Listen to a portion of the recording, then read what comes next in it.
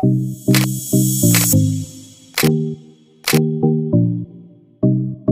Assalamualaikum warahmatullahi wabarakatuh. Ketemu lagi dengan saya di channel vlog berita. Oke teman-teman, hari ini tuh ada kabar berita dengan judul Jatuh pingsan saat ceramah. Ustadz Zaki Mirja ternyata idap penyakit kekentalan darah sejak lama hingga butuh terapi rutin.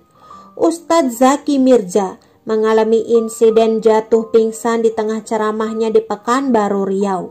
Istri Ustadz Zaki Mirja Sinta Tanjung pun membeberkan kondisi kesehatan sang suami yang ternyata memang mengidap penyakit kekentalan darah sejak lama. Memang itu penyakit kekentalan darah, penyakit lama. Itu penyakit bawaan, penyakit turunan, kata Sita Tanjung saat dihubungi.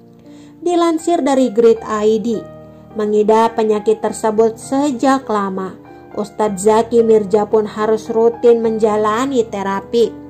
Jadi setiap satu bulan sekali harus plebotomi terapi. Harus diobati secara detail, terang Sinta Tanjung. Karena kondisi itu, bahaya juga ya kesehatan kalau darahnya nggak encer, nggak lancar lanjutnya. Saat itu, pihak keluarga Ustadz Zaki Mirja tengah berdiskusi terkait penanganan kesehatan untuk sang dai. Jadi ini lebih difokuskan lagi saya sama keluarga rembukan pengobatannya seperti apa lanjutnya. Selain mengidap kekentalan darah, baru diketahui bahwa Ustadz Zaki Mirza juga mengalami pneumonia atau radang paru-paru. Ustadz Zaki Mirza mengidap pneumonia Baru tahu sekarang karena pas di ronsen, ujar Sinta Tanjung. Menurut Sinta Tanjung, pneumonia yang diderita Ustadz Zaki Mirza akibat dari kelelahan.